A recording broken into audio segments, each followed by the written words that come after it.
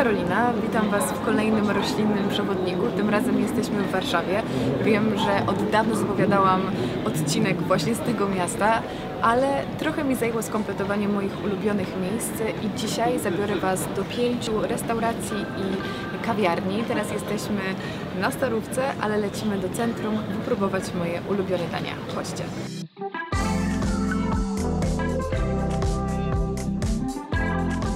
Musiałam zabrać Was do Edenu, bo to miejsce jest naprawdę wyjątkowe. Tak jak widzicie, za mną jest szklarnia, która jest częścią tutaj wystroju. W ogóle w Edenie, oprócz tego, że serwują wspaniałe jedzenie, które wygląda naprawdę przepięknie, smakuje przepysznie, to organizują tutaj wszelkiego rodzaju warsztaty, na przykład z komponowaniem bukietów. Także moim zdaniem jest naprawdę przeurocze miejsce. W środku też wygląda pięknie. Atmosfera jest niesamowita i znajduje się na Saskiej Kępie. Chodźcie spróbować moich ulubionych dań, czyli oferty śniadaniowej.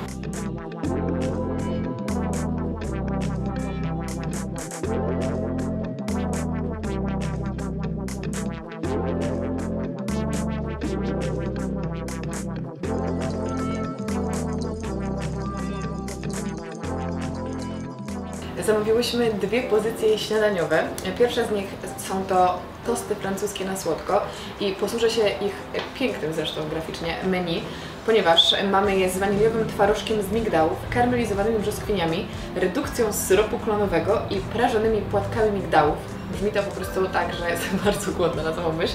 I druga rzecz to są huevos rancheros i to w ogóle jest takie śniadanie, o którym ja słyszałam wiele, wiele lat temu. Jest to tradycyjne tego co wiem, meksykańskie śniadanie z jajkami, ale oczywiście jest to wersja wegańska. Mamy dwie chrupiące kukurydziane, kukurydziane tortille, salsę, czarną fasolę, awokado, krem z nerkowców i tofucznicę. Także wow, do tego kawa, dla mnie kombucha i mamy naprawdę cudowne śniadanie.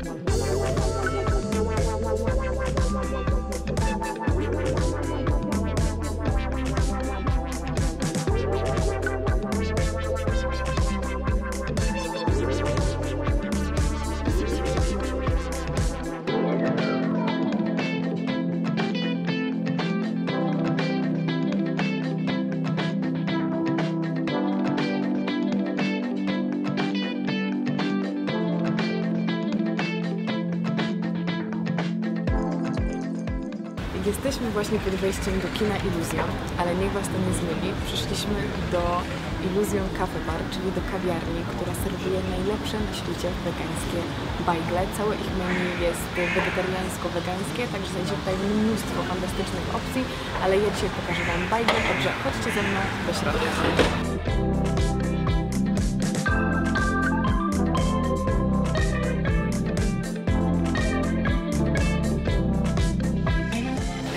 Mówiłam, przychodzę tutaj zawsze na bajgle i mam wrażenie, że one są takim spełnieniem wegańskiego snu, bo pierwszy z nich jest z łososiem, z marchewki i z twarożkiem, a drugi z pastą bezjajeczną, która jest naprawdę najlepsza na świecie i idealnie podrawia jajko, także my już czekamy na nasze zamówienie, ja się nie mogę doczekać.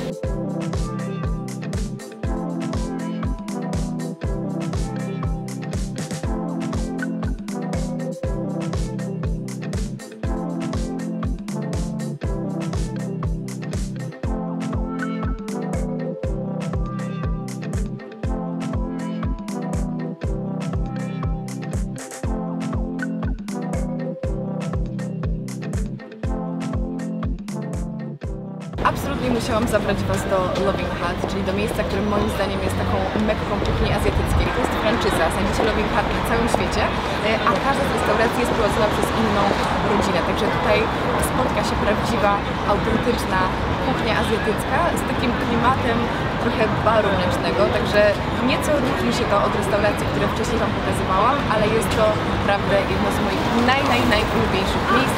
Chodźcie do środka, próbujemy.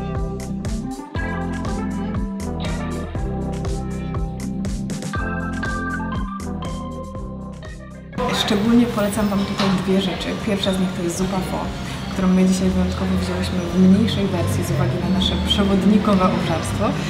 i kaczka o pekińsku, która moim zdaniem naprawdę genialnie imituje mięso. Zresztą jak wiecie, ja lubię wszelkiego rodzaju takie podróbki i ta jest naprawdę pyszna i wydaje mi się, że przekona największego mięsożerca. I słuchajcie, te słupki wyglądają mocno niepozornie, ale nie wiem jak oni to robią. Są tak dobre i ten sos jest naprawdę pełen smaku.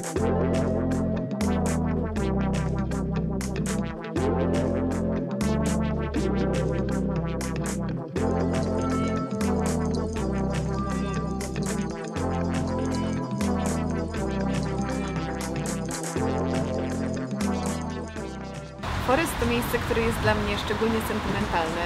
Może dlatego, że Dagmarę, założycielkę, znam osobiście i to od wielu lat i kibicowałam temu miejscu od samego początku, kiedy pojawiło się na mapie Warszawy.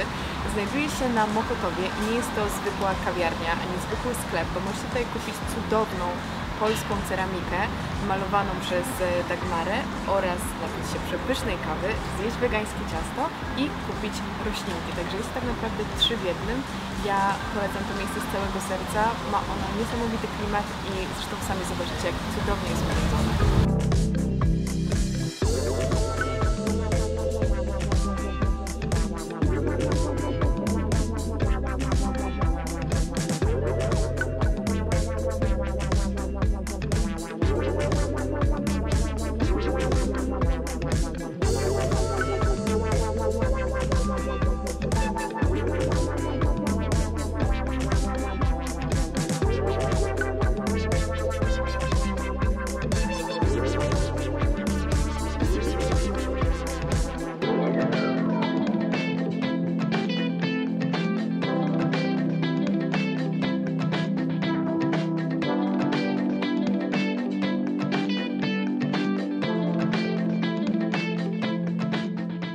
Jesteśmy w Leonardo Verde, czyli w prawdziwym wegańskim raju kuchni włoskiej.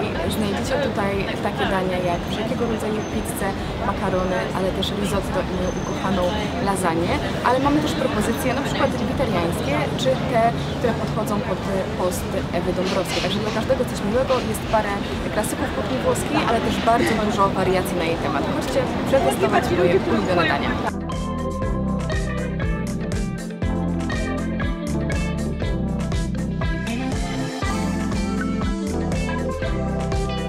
Karta w Leonardo jest dosyć obszerna, bo tak jak mówiłam, każdy znajdzie tutaj coś dla siebie, a ja zamówiłam moich ponadczasowych ulubieńców, czyli carbonarę na pełnoziarnistym makaronie, lasagne i pizzę wiejską na spodzie bezglutenowym, domowym na bazie mąki owsianej.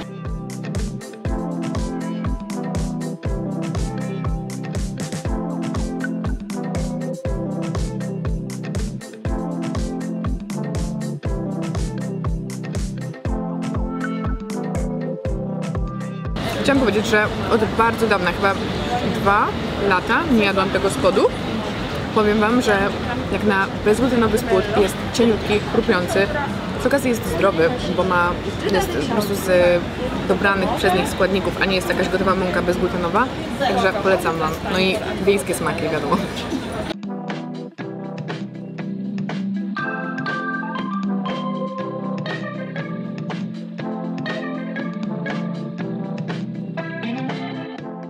Tutaj kończy się mój przewodnik po Warszawie. Mam szczerą nadzieję, że zainspirowałam Was do odwiedzenia tego miasta. A jeżeli jesteście z Warszawy, to zachęciłam do odwiedzenia tych miejsc, które są moimi ulubionymi. Tak jak zawsze zostawiam temat otwarty, czekam na Wasze rekomendacje, na Wasze ulubione miejsca w komentarzach. Dziękuję Wam za obejrzenie tego filmu i do zobaczenia już niedługo w kolejnym mieście. Cześć!